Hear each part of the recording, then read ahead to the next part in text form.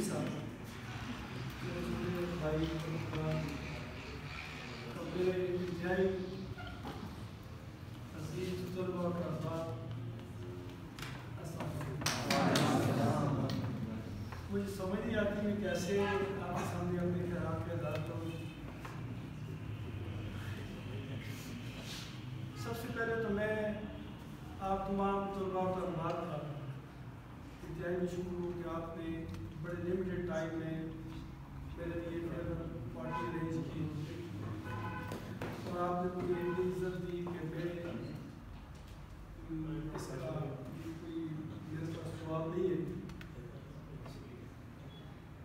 जहाँ तक आपने बात की रिटायरमेंट के हवाले से तो पहली बात तो ये प्रोफेसर रिटायर नहीं होता। प्रोफेसर के लफ्ज़ के साथ रिटायरमेंट का लफ्ज़ नहीं होता। डॉक्टर प्रोफेसर ये प्रोफेसर ही रहता है। हो। सकता है मेरे बात के साथ आप इख्तलाफ हो। प्रोफेसर शराफत खान साहब का ये है कि प्रोफेसर रिटायर कभी भी नहीं होता। और मैं अलहमदिल्ला जैसे इस कॉलेज में आया था फ़र्स्ट ईयर में 1979 में मैं अपने आप को वैसा ही महसूस करता हूँ। फिजिकली मैं हकीकत बता रहा हूँ। मेरा मेरा चलना, फिरना, खाना, पीना, कोई भी मतलब है, ऐसी बात नहीं है। जिस तरह आप बच्चे हैं, मेरे कोलीग्स हैं, बहुत छोटे उम्र में, तकरीबन ऑलमोस्ट मेरे स्टूडेंट बैठे हुए स्वाय शरफ खान साहब और नासिर साहब के अलावा और अपने नईम साहब इनके अलावा जितने भी हैं, हमारे डिपार्टमेंट के, मेरे डायरेक्ट स्टूडेंट हैं। और ये मेरे लिए बहुत बड़ी आदर है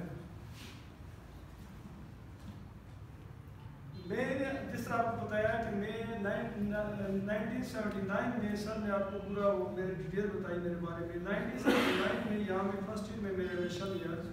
मेरे गाँव के एक प्रोफेसर थे प्रोफेसर रुमान साहब हमारा गाँव बहुत दूर है गौरवाबाद से लेकिन लोग बड़े पढ़े लिखे हैं हमारे। और अलहमदिल्ला उस जमाने में भी यहाँ पे तीन प्रोफेसर थे। नारी ग्रामीण प्रोफेसर जिसमें प्रोफेसर रमान साहब थे प्रोफेसर फ्री साहब का नाम शायद आपने सुना होगा फिजिक्स के टीचर यहाँ पे रहे हैं मेरे भी टीचर रहे हैं सर के भी टीचर हैं और शायद जो है उनके भी टीचर होंगे या साहब के भी और उनकी छोटे भाई प्रोफेसर यूब साहब ये यहाँ पे पढ़ाते थे उसमें तो मुझे भी साहब ने मेरे चचा वहाँ पास लेकर आए मेरा उन्हें एडमिशन कराया और 1979 से लेके 1988 तक बल्कि 87 तक मैंने यहाँ पे पढ़ा। 88 में फिर मैं यहाँ से जिस तरह सबने बताया कि एम एस सी का मैंने एग्ज़ाम दिया उस ज़माने में ये होता था कि दो साल बीच में हमारे ज़ाया हो जाते थे।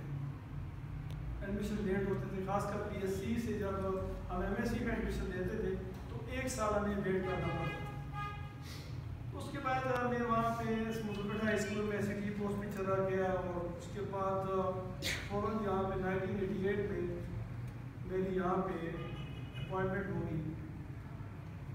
और मुझे ये एजाज़ हासिल है, शायद इस तरह कम हुआ होगा कि अपने दोस्त जो हैं वो मेरे शागिर्द थे। यानी जो बच्चे, जो लड़के मुझसे जूनियर थे क्लास के, वो मेरे डायरेक्ट स्टूडेंट हैं। वाक्य सुनाता हूँ आपको कि मेरा सर के साथ एक लेडीज़ पढ़ती थी, स्टूडेंट थी मेरी, वो मुझसे दस साल